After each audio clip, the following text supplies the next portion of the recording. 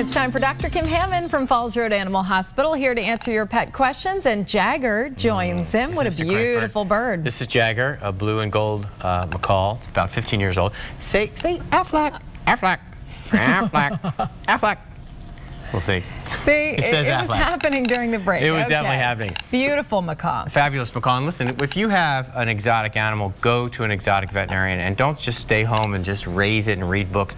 There are great clubs out there. There are all sorts of fun things, but you really need to have your, your exotic seen by exotic veterinarians. And they're okay. different from regular veterinarians. Okay. Okay. Here's some questions. Yep. Uh, we'll start with a question from Gay. He asks, I have a nine-year-old dachshund that has IVDD, and she now has a fungal infection of the skin on her back legs. I've been using medicated shampoo, so why is it taking so long to get rid of this? Okay, tell us what a, IVDD is. it sounds like, I think, in intervertebral disc disease. In other words, the, the dachshund has a, a bad back. Okay.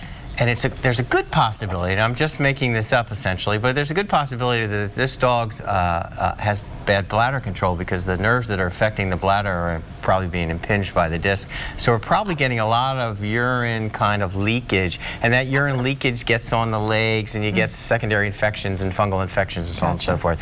What you need to do is you need to find a really sharp veterinarian, and I would recommend calling Dr. Sand at the Falls Road Animal Hospital because there's a complexity here in taking care of the back and also taking care of the side effects of the disease.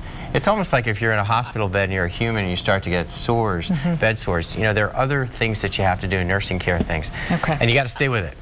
All right. Tina writes, I have two dogs with fleas. They're on frontline and they get bathed, but they're still scratching miserably. Help my babies. Well, look, um, there are uh, there are a plethora of other products out there and the one thing you have to think about is uh, your environment. If you have animals that have fleas and you're treating them with an effective flea device, mm -hmm. chances are there's a reservoir out there and you have to hit that reservoir. So get under the beds, bomb, spray, so on and so forth. That's All what right. you're going to have to do in that case. Because probably frontline works. Okay, Half thanks Dr. Kim. No, not going to happen. Thanks, there goes Jagger. U2 moment. Yeah, there it goes.